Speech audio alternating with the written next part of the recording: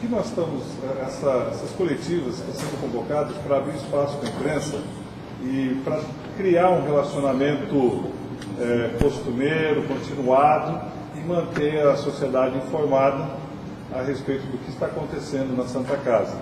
Né? Fiquem à vontade.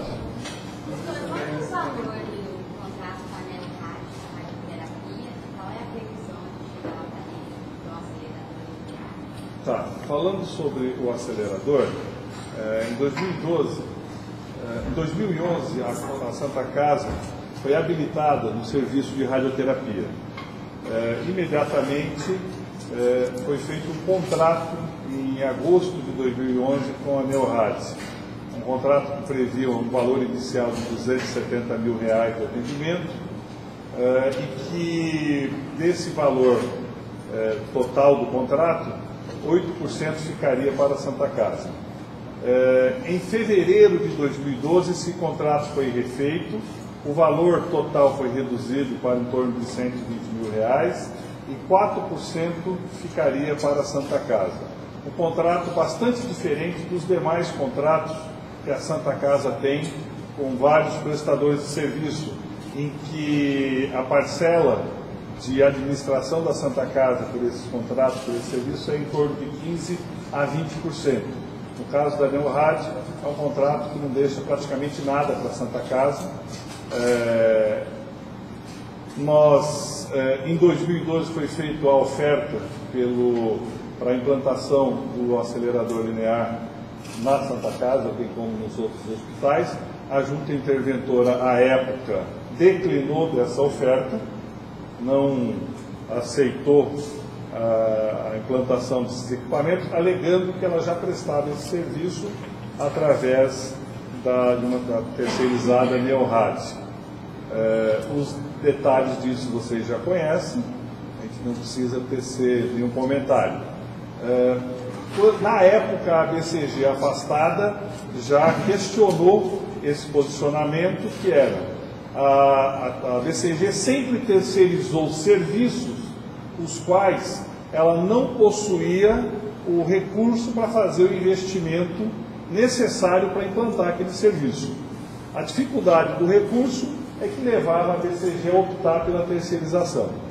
E surpreendeu o fato de que quando há uma oferta do recurso para que o serviço seja próprio, e você então é, declinar dele por conta de é, é, manter esse serviço terceirizado. Como isso foge é, é, frontalmente aquilo que a BCG tem feito, nós, à época, já manifestamos a nossa preocupação com aquela decisão e que nós iríamos reverter quando estivéssemos à frente do hospital essa situação. E essa oportunidade surgiu agora, nós estamos conversando com, diretamente com o INCA, o Instituto Nacional do Câncer. No dia 10 e no dia 11 de julho, a senhora Inês vai estar em Campo Grande e nós estaremos negociando o formato do convênio para que o equipamento é, possa ser cedido à Santa Casa e que também o custo do investimento em instalações possa ser feito para que nós possamos ter um serviço próprio de radioterapia. É importante dizer que a radioterapia terceirizada hoje atende de 80 a 90 pacientes mês. Isso varia de um mês para o outro. E que nós esperamos que com a implantação do serviço próprio, um equipamento à disposição, esse, a, a quantidade, o volume de serviço ofertado possa crescer substancialmente. E também acreditamos que o fato de ter um serviço desse dentro da unidade hospitalar possa permitir um serviço de melhor qualidade uma assistência melhor ao paciente e uma integração melhor com as outras terapias oncológicas. Então, é, está tudo organizado, a, tanto o INPA quanto o Ministério da Saúde manifestaram interesse em que esse serviço seja implantado, assim como também é, manifestaram haver meios financeiros de estabelecer um convênio para isso. Então nós estamos bastante tranquilos, é, acreditando que nós vamos conseguir trazer o recurso, trazer o equipamento e pôr esse serviço para funcionar e ampliar a oferta para a população. É verdade, questão do, a questão do recurso é mensal? Mensal. 50 mil, depois 120. Não, 270 não é mais, o que está valendo é 120. a questão dos recursos humanos. Oi? Os recursos humanos, o pessoal para operar esse equipamento. Então, nós estamos, é, organiz- estamos estruturando isso, quem, qual a, a equipe necessária, né, e aonde essa equipe vai ser treinada para fazer a operação desse, de- desse serviço por conta da Santa Casa. Mas está em fase inicial isso ainda. Se você me perguntar quantas pessoas, eu não- ainda não sei te dizer. Seriam quantos equipamentos? Um. funcionários da própria Santa Casa mesmo que passariam pelo treinamento? ou seria Não, não necessariamente. Não necessariamente. Poderá ser. é, primeiro porque é uma, uma especialidade muito específica e que ela não existe ainda dentro da Santa Casa. Então, com certeza, uma parte desses profissionais virão de fora. Quais seriam os valores dessa, dessa negociação na verdade? Né? Ainda, ainda não sabemos. Nós estamos numa fase bem inicial. Quer dizer, enquanto isso, vai continuar lá no Neurad. Até que esteja implantado um sistema próprio dentro da Santa Casa, vai continuar no rádio por respeito e responsabilidade em relação aos pacientes. Há uma, pre- há uma previsão de, de quando esse serviço da Santa Casa possa estar instalado? Eu imagino que isso não aconteça antes de um ano. Pelo tempo de processo licitatório, assinatura de convênio, eh, execução da- da- da infraestrutura, a gente precisaria de pelo menos um ano para isso. O valor de 270? Isso está envolvido em um mistério que nós não sabemos. Não. Não, no, no aditivo que muda não fala por quê. Porque uma vez implantado através desse sistema é, do acelerador aqui na, na Santa Casa, automaticamente se cancela o contato com o rádio. Qual que é a intenção da Santa Casa? Sim, provavelmente pode. Outras situações poderão mudar, poderá de repente contratar profissionais que estão lá para atender aqui, são eh, possibilidades. Né? Mas ter um serviço próprio não se justifica manter um serviço terceirizado. Qual é o prazo para?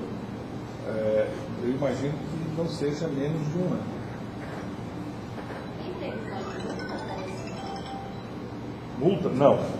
Ele, o contrato pode ser denunciado é, num espaço de 30 dias de antecedência e ele ser reincidido. A, Neorádio recebe hoje 120 mil reais, então. Ela varia de 90 a 100, depende da produção do mês. Não é um valor fixo, é um valor teto de, de 119 e alguma coisinha. E esse valor 4% dentro da Santa Casa. é isso, 4% dentro da Santa Casa.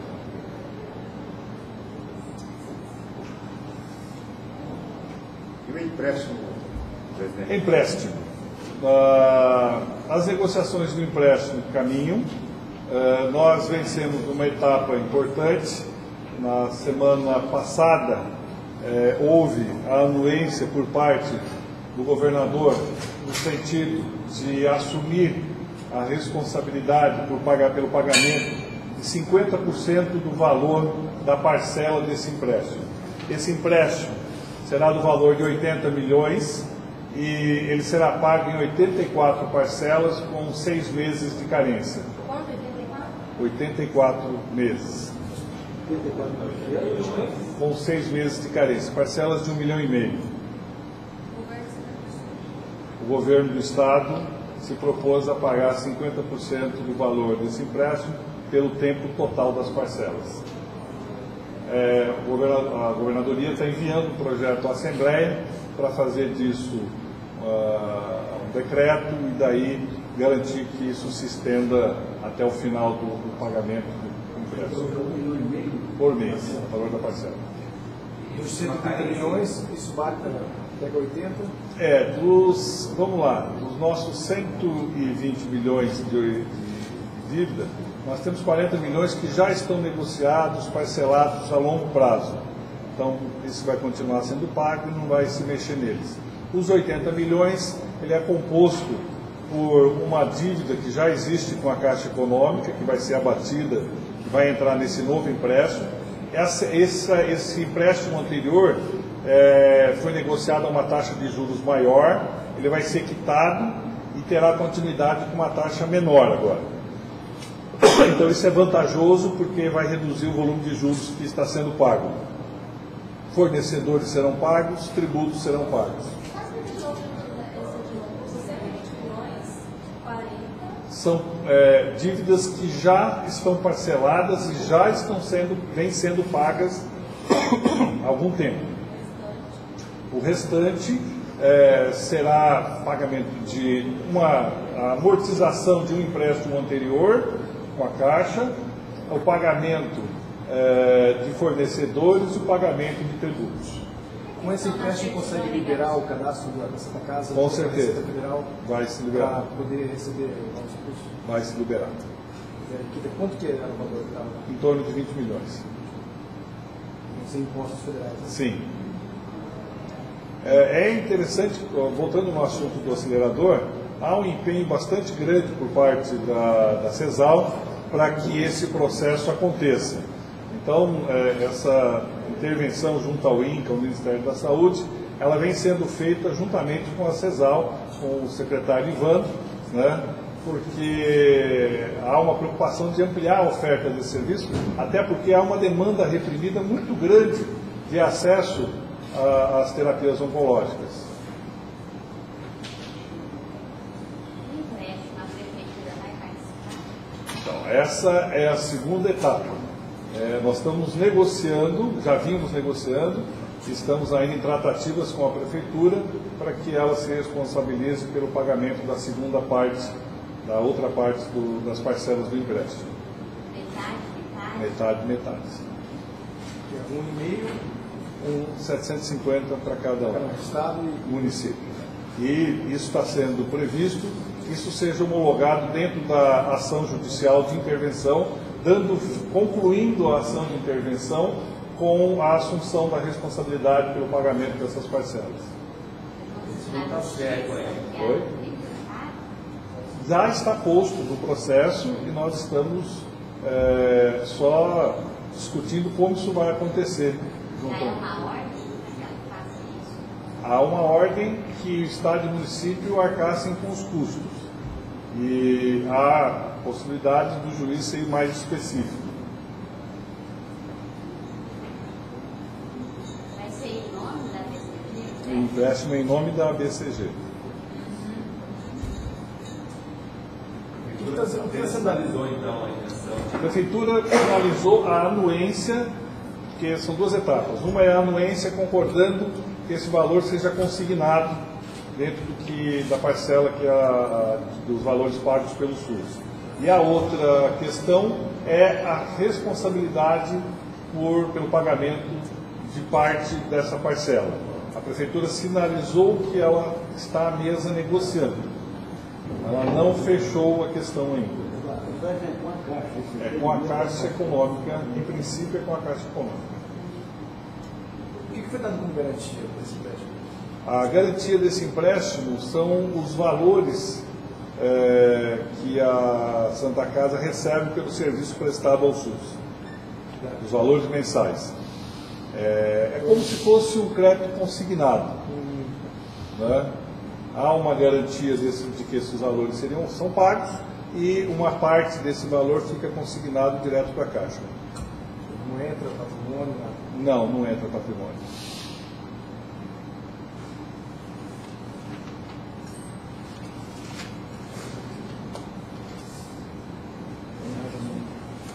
O, o repasse por parte do governo do Estado tem uma data específica, são aqueles seis meses de carência. Não, o governo do Estado, na data da assinatura do contrato, ele começa a pagar as parcelas. Não tem prazo para. Não, isso vai ser, é um processo que vai caminhar a Assembleia, Procuradorias Jurídicas do Estado, né? A gente espera que até a assinatura do contrato do empréstimo isso já esteja também resolvido. Eu acho que ainda vai uns 40 dias. É, assinar o contrato do empréstimo. A Assembleia nos autorizar. Essa é uma alternativa. A outra? Seria um decreto do governador eh, está sendo estudado outras alternativas. A Assembleia já sinalizou que também não teria problema para a aprovação e nem para o trâmite. Já está dependendo desse. Está dependendo, o empréstimo está dependendo dessas. Não, são coisas independentes. O empréstimo vai, vai sair. São duas negociações. Uma é obter o empréstimo, a outra é obter a participação do Estado e município no pagamento das parcelas. É- já, certo, já definitiva, já está. Já pode Sim, contar com ele. já pode contar com ele. É a participação do governo que a Assembleia vai. Exatamente. Sobre o Hospital do Trauma, Hospital do Trauma. A situação hoje do Hospital do Trauma, é, a obra se encontra paralisada. Ela se encontra paralisada por conta da fiscalização do Ministério da Saúde. é, e, e numa nova etapa de fiscalização, é, o DICOM, que é o departamento responsável por isso do Ministério da Saúde, passou a questionar a- as, as decisões, as primeiras decisões, a concessão do convênio, a planilha que foi feita, os projetos que foram feitos lá no início do processo. Então, existe um impasse interno do Ministério da Saúde em relação ao- a- a- aos documentos iniciais do convênio e em relação às medições que foram feitas até então.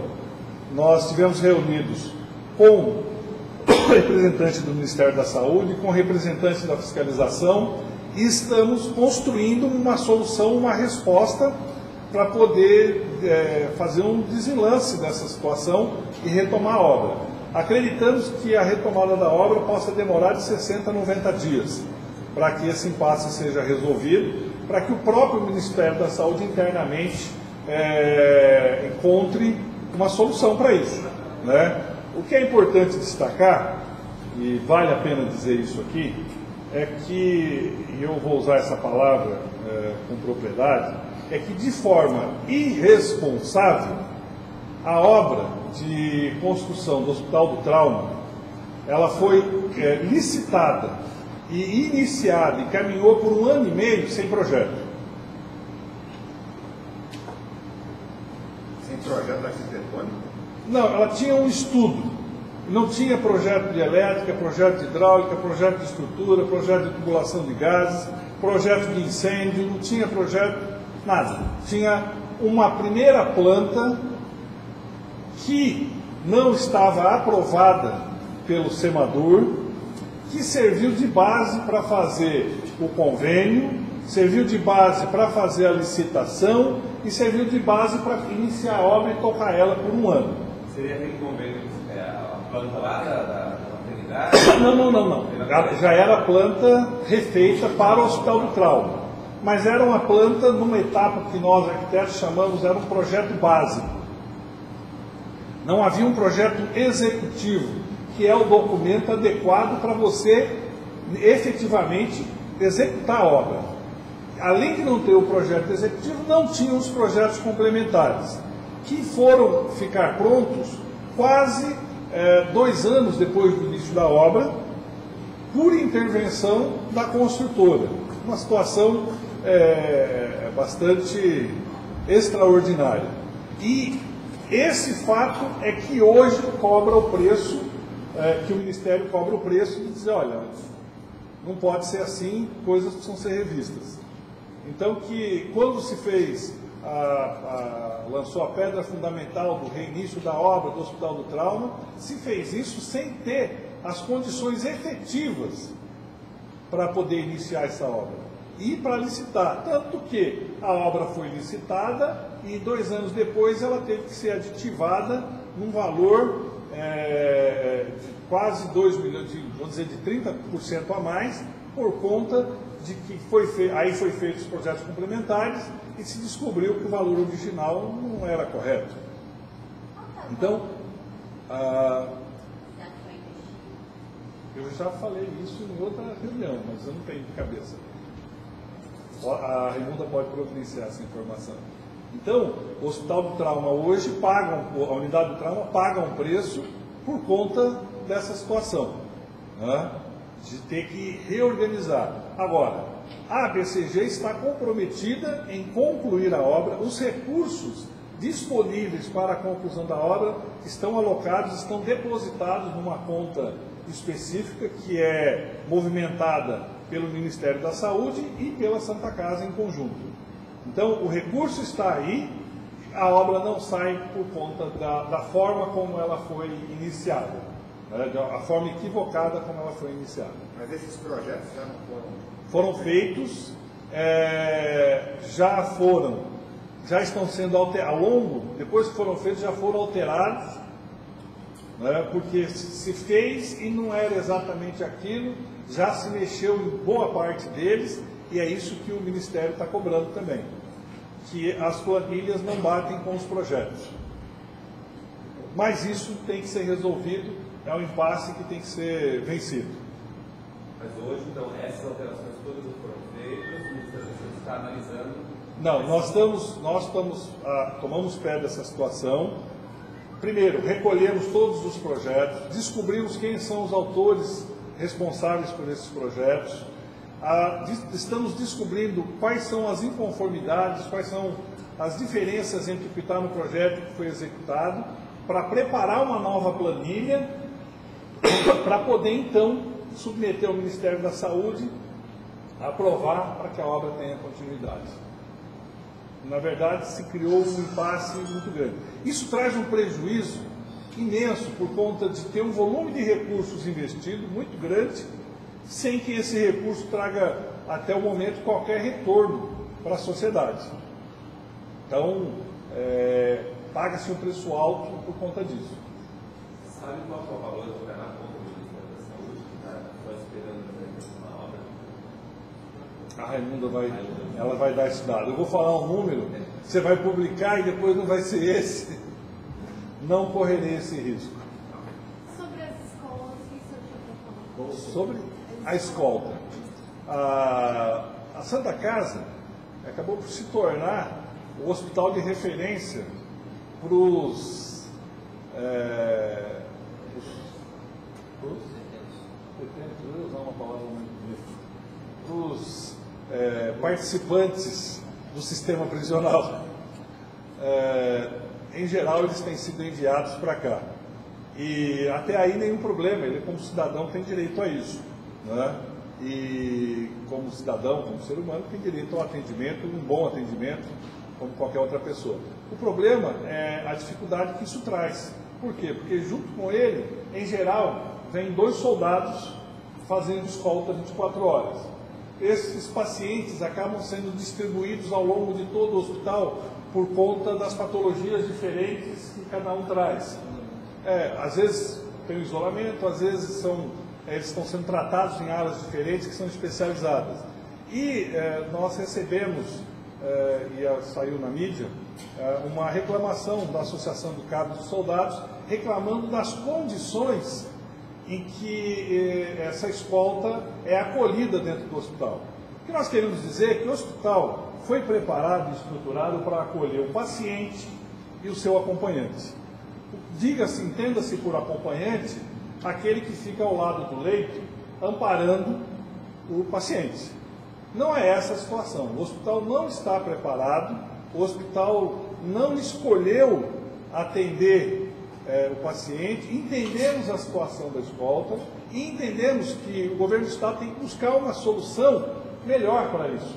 E entende por uma solução melhor é, um espaço específico dentro do sistema prisional para atender esses pacientes. Né? E que, infelizmente, nós não podemos, é, hoje, buscar uma solução especial para esse é, profissional que está fazendo a escolta. Nós não temos como oferecer aquilo que eles, com certeza, têm direito, mas que não é obrigação da Santa Casa resolver. A Santa Casa está estruturada para o paciente e para os acompanhantes que contribuem para para terapia junto àquele paciente. São quantos hoje? Hoje nós temos, eu acho que hoje tem pouco, em geral tem mais. Hoje tem cinco pacientes detentos, cada um com dois, em geral com dois soldados de escolta, né, que se revezam em, em turnos 12 por 12.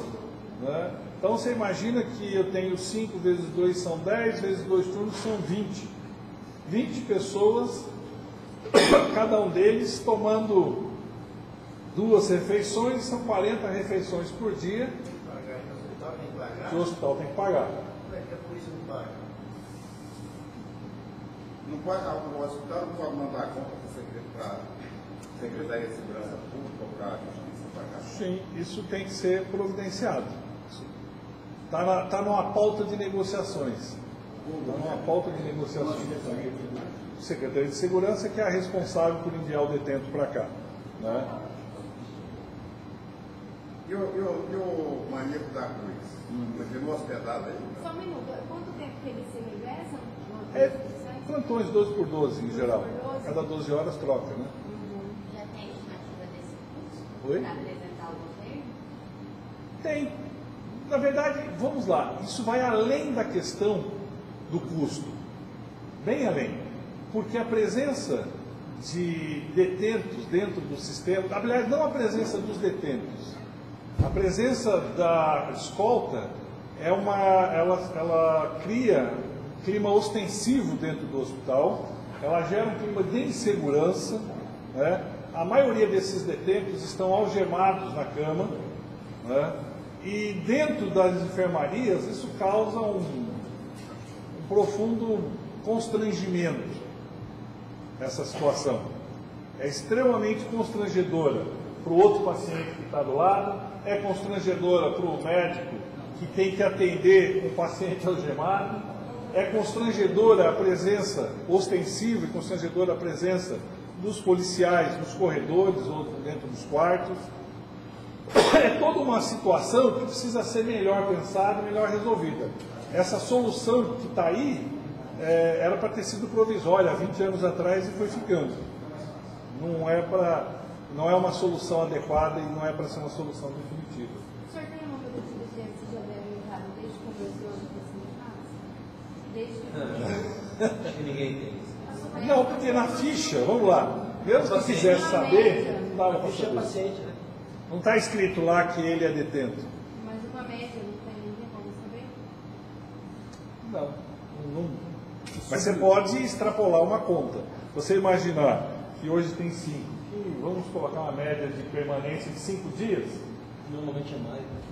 É mais. É, o problema maior não é Geralmente é de logística, né? tempo? Depende da patologia. É, Mas assim, o maior período. é, normalmente os períodos mais, curtos do que os pacientes em comum. Porque os pacientes é, do dia a dia são pacientes que estão é, sofrem trauma. Né? E normalmente os detentos não têm esse tipo de patologia, porque eles, eles estão aleijados desse convívio da sociedade. De no máximo uma semana, então. Não, não tem essa média, mas, em- mas acho que uma semana é um tempo bem razoável. O problema maior que eu pretendo dizer não é financeiro, é de logística. Se esse detento está no CDI, se ele fez um- uma pneumonia grave, é, esse, esse escudo vai ficar na porta do CDI. Né? E o CDI não é feito para ter banheiro de acompanhante. Né? Se ele está no centro cirúrgico, o escudo fica na porta do centro cirúrgico. E, e assim por diante, se ele tem uma tomografia, a escudo tem que acompanhar ele na tomografia. Entendeu? É toda uma situação que precisa ser analisada em termos de fluxo do hospital. Porque é, o trânsito no hospital ele gera infecção, gera insegurança, ele gera uma dificuldade de controle. Qualquer pessoa que tiver uma falha que compra em qualquer lugar entra no hospital, porque tem uma identificação, ele até o sistema de controle interno do hospital fica difícil. Mas principalmente é a logística do paciente que é complicada. Sobre o Jonathan. Celestino. Estamos aí. Próximo de Já, como diz depois de tanto tempo de convivência, começa a virar colega, né? Cuidado para não pegar um uniforme. tá? É, a virar colega. Não, pelo contrário, você tem que segurar a fila de gente querendo tirar foto do lado. Como assim? É, Se se tornar uma deixar. Não, não é celebridade, né? é uma excentricidade, uma coisa É, exótica. é uma coisa inimpensável num setor que precisa tanto de lei. Isso está acontecendo. Chega a ser. Irresponsabilidade você bloquear três leitos para resolver uma questão Já passou do judicial. bom senso, passou do qualquer bom senso social, político, saúde pública. que aí é uma coisa que realmente o poder judiciário e os gestores é, de saúde municipal, principalmente estadual, é, tem que olhar para a sociedade com muitos olhos em relação a isso. Mas então, a casa vai ter que fazer com relação A a sociedade não tem o que fazer. Ela tem feito tudo que podia fazer. Então, em tese, ele está de aula. Tentar acelerar, né? É, não, isso já deve feito. Juridicamente interpelado, conversado com o sistema é, com o Judiciário. É, de Justiça. Mas analisa, ele está de alta. Você só- E ele não está preso. Em tese, ele pode ir embora. Se ele vai embora e acontece alguma coisa que prejudica a sociedade, quem que é responsável por isso? A Santa Casa que liberou. Se, a Santa Casa mantém aqui e dá toda a assistência que está dando, quem que é a Santa Casa está ocupando três vezes e gastando dinheiro da saúde. Então a Santa Casa nessa situação, ela é refém, refém de uma falta de iniciativa de quem quer que seja. Doutor, mas vai ter um, um, um diagnóstico inicial de que ele era psicótico. Psicótico Agora tem tratamento. Tem, outra, tem outro diagnóstico que me parece que eu- que já não é mais psicótico. Não. Não? O diagnóstico é único e ele está de alta desde o dia 23 de Maio. maio. Não Alta. coletivo, o né? senhor o senhor de alta, mas que ele continuava recebendo algum medicamento. Como, como todo paciente, por exemplo, que tem pressão alta, toma remédio diretamente. Tem um estudo que toma remédio para controlar o humor, controlar, estabilizar o humor, estabilizar a ansiedade. Bom, Medicamento. tomando. Santa Casa está oferecendo para ele todo o tratamento que em tese ele deveria ter em algum outro local que não um hospital terciário para treinar de mulher. Continua na escola. Continua com a escola. E ainda não houve nenhuma sinalização, nenhuma solução. O governo do Estado, através da Secretaria de Justiça, eh, alega que está buscando uma clínica fora do Estado que s- possa recebê-lo possa eh, mantê-lo. Mas até agora não apresentou essa, essa solução, até agora não conseguiu eh, resolver essa situação. Que ele está em Na ala, na, no quinto andar, na ala C da urologia. Isso nessa curiosidade das pessoas chegou para vocês como a polícia, Nós andamos no hospital, né? Não. Assim, porque. Eu passei a noite na exemplo, enfermaria de frente com ele essa noite. No, no, no CTI que não que é é de um corredor. Não, assim, é natural. Mas hoje a, naturalidade é uma coisa até de incomodar quem trabalha aqui. Porque nós sabemos o tanto de gente que está precisando de leite. Todo mundo que está aqui está sabendo que isso é uma coisa que interfere a logística do hospital, interfere ah, o fluxo normal dos pacientes. Né, Tem pacientes que não têm vaga, e isso a gente se desdobra com o controle de vaga, sabendo que se inscrever de um quadro que não era para passar um diagnóstico. Né, Era para ter o diagnóstico de é ou não é doente mental, se fosse ele estaria na psiquiatria tratado, sendo tratado sem escolta, sem escolta, né? Que até, até o sistema prisional fica muito complicado ainda, porque ele não é preso, ele não é condenado, não tem nenhuma pena cumprida. Embora a gente saiba que ele seja um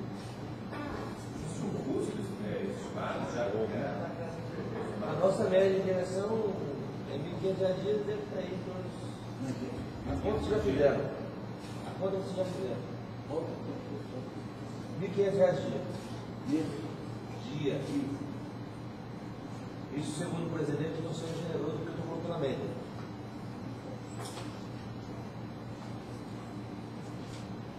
Deixa eu fazer uma pergunta extra pauta. Claro. Casa, dizer, a interventoria dona da Santa Casa tem uma dívida, segundo ela, de 58 milhões, segundo a Santa Casa, de 30 e pouco. É, não, ela, ela já admitiu na saída, eles produziram, contrataram uma auditoria, muito bem paga, é, e essa auditoria concluiu para a intervenção que a dívida era de 112 milhões. Nós ajustamos alguns valores com a junta interventora, discutimos aquilo e há uma concordância de que a dívida total da Santa Casa, a dívida consignada, era de 120. Você divide já no final agora. Não, na saída deles. Aí, certo? Uma diferença, essa diferença, a Santa Casa fez alguma significância, pretende fazer alguma. Para saber de onde foi a, a, origem dessa dívida, Ah, é que foi eu- essa dívida, se foi. Tem 80, né? É bastante 80, dinheiro. 80 milhões, 80, 90 milhões. Tem ter, não tem explicação para essa, pra essa dívida? Tem. Tem. É, se você me perguntar assim, vocês encontraram indícios de irregularidade na formação dessa dívida? Sim, essa é a pergunta. É, Sendo objetivo, né? É, em princípio, não. Se você perguntar, mas vocês encontraram indícios de uma gestão ineficiente para formar essa dívida? Aí eu vou dizer que sim. né? Há indícios de uma gestão ineficiente para se formar essa dívida. Mas uma gestão ineficiente, isso é algo técnico, que se discute, que se. Mas você não tem.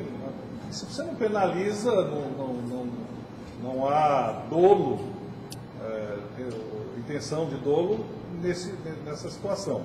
O que nós podemos ver é que, uma parce- além daquelas parcelas que já estão parceladas, negociadas, é, que são, por exemplo, os, é, Time Mania tem uma parcela grande, a Enersul tem uma parcela grande é, de valores já negociados. Além disso, o grosso desses 80 milhões, nós temos 20 milhões que são relativos a tributos não pagos nos últimos sete meses. Seis, sete meses. Nós temos é, mais 20 milhões relativos a um financiamento que foi tomado em 2011, que pagou dívidas de 2010 e 2009. E nós temos 40 milhões, dos quais 30 são dívidas de 2011 até o final da intervenção. Dívida com quê? Fornecedores diversos, prestadores de serviços fornecedores. Nós temos é, 1.500 protestos de títulos. E quando nós olhamos esses 1.500 protestos, são todas coisas é, desses últimos dois, três anos. Presidente, o, o SUS paga por produção, certo? É, não. não é por produção que o SUS paga? Não, o SUS paga por procedimento e como há um contrato, né, há uma a contratualização, existe, foi negociado um valor para produzir uma quantidade. Um pouco acima, um pouco abaixo, tem uma meta para atingir. E o valor é aquele. O, o SUS envia esse, esse a conta, é, é depois que, que, que, faz o procedimento, envia a conta e o, o SUS paga? Não. O hospital manda a conta e o SUS paga, é isso? Não, o hospital presta o serviço, o serviço é auditado continuamente, diariamente, está sendo auditado. Ah, quem faz a gestão não é o SUS, a gestão é da Prefeitura Municipal, através da CESAL. Eh, o contrato prevê metas qualitativas e metas quantitativas a serem atingidas.